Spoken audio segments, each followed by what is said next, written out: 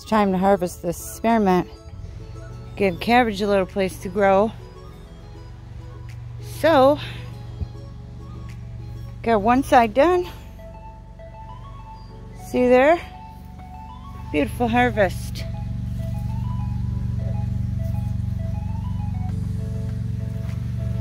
Fresh baby leaves.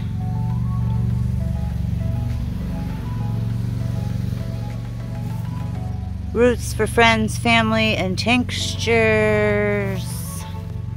Yes, we do tinctures with the spearmint.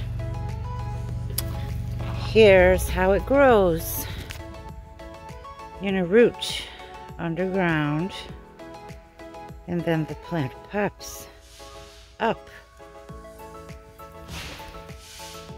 everywhere, tall, looking independent of itself. But it's not.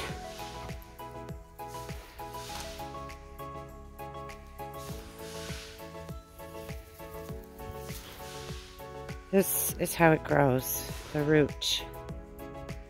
You have a root, then you have plant, and it's a beautiful plant. This will go in a pot for a friend who I know will enjoy it and use it.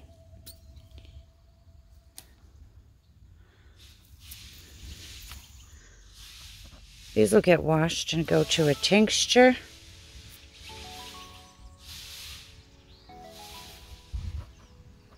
That's yet to get filled.